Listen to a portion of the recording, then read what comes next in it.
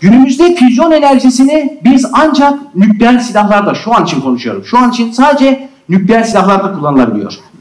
Fakat ticari bir reaktör yapabilmemiz ve enerji sağlayabilmemiz şu an için mümkün olmadı. Yani yani artı pozitif bir enerjiye geçildi ama daha henüz ticari anlamda böyle bir reaktöre dünya üzerinde e, sahip değil. Bu da plazma sıcaklığında hiçbir maddenin dayanamaması. Toryum sırasını bekleyen element. Toryum sırasını bekleyen element. Bakın şimdi uranyum o kadar ilerlemiş ki kullanmak. Onlar için artık çok kolay olmuş. Yani PBR reaktörü mesela bu PBR reaktörü bahsettiğim PBR dünyadaki yüzde 60 yani reaktörlerin tür olarak baktığım zaman türünde yüzde 60'ı PBR. Uranyum bazlı yakıt yapmak onlar için çok kolay.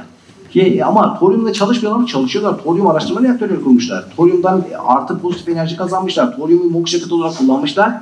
Ama şu anda onlar da uranyum sorun olmadığı için uranyumu daha etkin kullanıyorlar. İnsan sağlığına zararı olmayan sadece ve sadece su buharıdır. Sebep de böyle bir dumanın çıkmasının tek sebebi de, ya duman demeyelim buna, sis diyelim. Böyle bir sisin çıkması, su bulutunun çıkmasının sebebi reaktörü sadece soğutmak için kullanılan sistemin çıkarttığı buluttur diyelim. Bu kesinlikle karbondioksit değil. O, bu yüzden ne diyebiliriz? Çok çevre dostudur.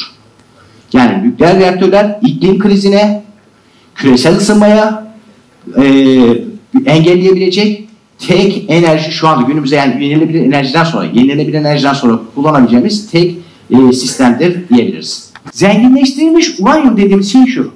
Biz bir uranyum cevherini çıkarttığımız zaman mesela örnek veriyorum bin tane atom çıkarttığımız zaman yeryüzünden, topraktan, işte madenden çıkarttığımız zaman bin tane çekirdeğin ancak 7 tanesi uranyum 235 çekirdeği geri kalan 993'e yakını uranyum 238. Ama bizim işimize yarayan uranyum 235. Yani buradaki çekirdek. Burada 100 parçacık üzerinden konuşursak yaklaşık bir tanesi uranyum 235. Dünya e, Sağlık Örgütü 1 milisivert'a kadar izin veriyor. Bazı kaynaklar 2.3 milisivert'a kadar insan sağlığına dokunmadığını söylüyor. Yani çok fazla zarar olmadığını söylüyor. 1 milisievert bizim bir yılda almamız gereken radyasyon. En fazla bu kadar. Ya da bilemediniz 2 milisievert diyelim. Bakın bir tomografi çektirdiğimiz zaman 11 milisievert radyasyon ödüyoruz tek seferde. Ankara Washington arası uçakla gitsek 8 saatte 0.01 milisievert, röntgen çektirsek 0.1 milisievert. Eğer nükleer santral çevresinde yaşıyorsanız bir yılda en fazla 0.01'den daha az bir miktarda radyasyona maruz kalırsınız ki bu da aslında nükleer reaktörlerin masum olduğunu bir ispatıdır. Evet, e, ülkemiz e, bildiğiniz üzere e, nükleer e, enerjide e, atılım halinde ve e, nükleer enerjiyi sürekli geliştirmeye çalışmamız gerektiğiyle ilgili bugün bir konferans sunmamız gerekti. E, hem öğrencilerimiz hem de öğretim üyelerimiz toplandık. Bu konuyu bugün tartıştık. Ülkemizin enerji talebini ve e, bu enerji talebine karşılık ödediğimiz e, mevlaları konuştuk. Doğalgaza veya kömüre. Bunun nükleer e, santrallerle, nükleer reaktörlerle aşılabileceğini konuştuk ve milli rezervimiz olan toryumun da önemine vurgu yaptık. Toryumun da nükleer reaktörlerde tüketilebileceğini e, ama öncelikle uranyum bazlı reaktör teknolojisini öğrenmemiz gerektiğini ve teknoloji transferine ihtiyacımız olduğunu önemini vurguladık. E, öğrencilerimiz de ve akademisyenlerimiz de e, başarılı bulduklarını belirttiler. E, biz de memnun olduk. Toryumun aslında kullanılması, toryumun nükleer reaktörlerde yakıt olarak kullanılması yeni bir olay değil. Daha öncelerde de e, e, diğer ülkelerde, nükleer teknoloji sahibi ülkelerde e, bu çalışmalar yapıldı e, toryumun aslında yakıt olarak kullanılabileceği e, belirlendi. Ama toryumun yakıt olarak kullanılmadan önce e, bir transportasyonla dönüşüm sağlayarak yani baş e, yine fisyon yapabilecek bir e, element olan uranyum 233'e dönüştürülmesi gerektiğini biliyoruz. Bu karışık yakıt dediğimiz, MOX yakıt dediğimiz sistemlerle olabileceğini biliyoruz years. Veya başka e, reaktör sistemlerinde yani bu hızlandırıcı güdümlü sistemlerde bugün onlardan da bahsettik. E, toryum sırasını bekleyen element diyoruz. Biz aslında toryum için sırasını bekleyen element. Yani bunun da amacı, şey, anlamı şu.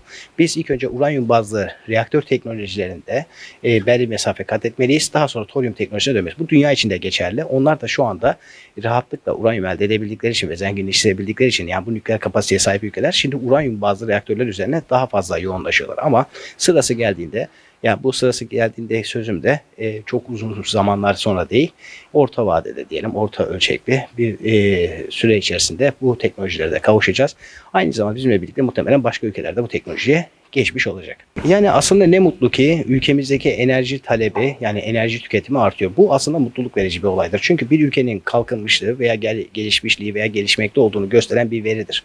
Ülkemizde de e, enerji talebi yani enerji tüketimi yıllar içerisinde katlanarak artıyor. Bu güzel bir şey ama şöyle bir sorunla karşılaşıyoruz. Biz ham maddeyi dışarıdan aldığımız için elektrik enerjisi üretiminde dışarıya bağımlı hale kalıyoruz. Yani doğal gaz, kömür gibi e, hala fosil yakıtlara yönelmek zorundayız. Bunun için 40 milyar dolar gibi bir parayı yurt dışına transfer etmiş durumdayız. 2030'lu yıllarda bu ihtiyaç katlanarak gidecek ve bizim daha fazla enerji üretmemiz gerekecek. Ama bu enerjiyi ucuz üretmek zorundayız. Yani kalkınma hamlemize e, sekteye uğratmamak için bizim bunu çok ucuz e, üretmek zorundayız ki maliyetlerimiz, üretim maliyetlerimiz düşsün ve dolayısıyla ülke, para da ülkemizde kalsın. Amacımız bir başkası ise enerji arz güvenliği. Ana, enerji arz güvenliği çok önemli bir konu. Yani bugün siz dışarıdaki işte dışarıdan alacağınız doğalgaza, kömüre veya diğer türevlerine bağımlı kalırsanız ileriki yıllarda yaşanacak herhangi bir sorunda bu maddeleri elde edemeyebilirsiniz. Yani herhangi bir karışıklıkta size doğalgaz vermeyebilirler, işte kömür alamayabilirsiniz ya da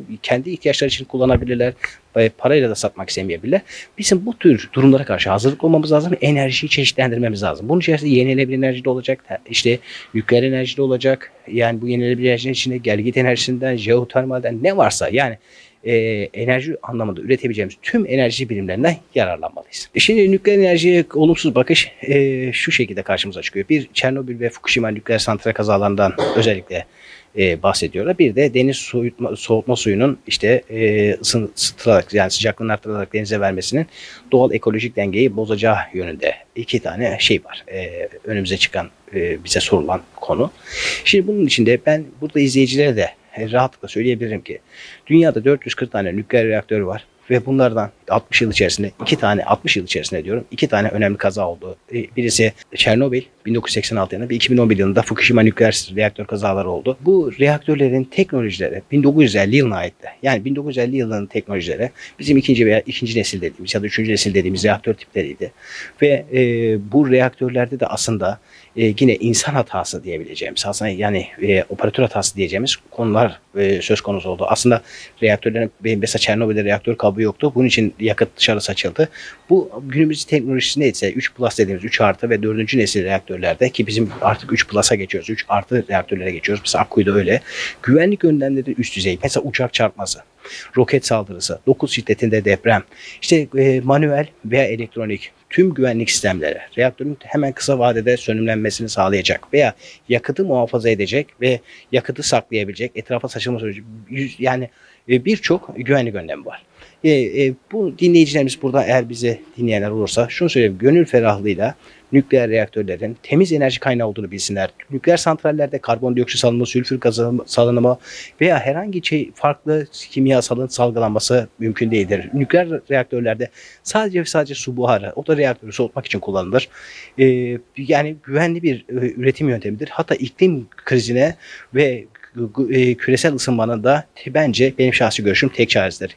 İleriki yıllarda füzyon teknolojisinde gelmesiyle beraber artık e, küresel iklim değişikliği ve küresel ısınmaya da e, büyük önemli ölçüde katkılar verecektir. Temiz enerjidir. Yani bu anlamda herkes müşteri olsun. Her canlının enerji ihtiyacı olduğu gibi her hücrenin, her organizmanın ihtiyacı olduğu gibi enerjiye, ülkemizde bir canlı gibi düşünürsek enerjiye ihtiyacımız var. Gelişmek için, büyüyebilmek için enerjiye ihtiyacımız var. Enerjiyi tabii ki ne yapmamız lazım? Ucuz elde etmemiz lazım ve enerjiyi sürekli elde etmemiz lazım. Enerji konusunda hassas olmamız gerektiğini söylüyorum. Hatta bir kısa bir şey daha söyleyeyim. Enerji tasarrufu ve enerji verimliliğine çok önem vermeliyiz. Yani enerji tasarrufu ve enerji verimliliğine verilecek önem bir ham madde bulmak gibidir. Yani ham madde ya, ya ham madde bulmuşsunuz ya ham madde bulmuşsunuz ya da enerji tasarrufu yapmışsınız aynı şey. Çünkü enerji pahalı bir olgudur.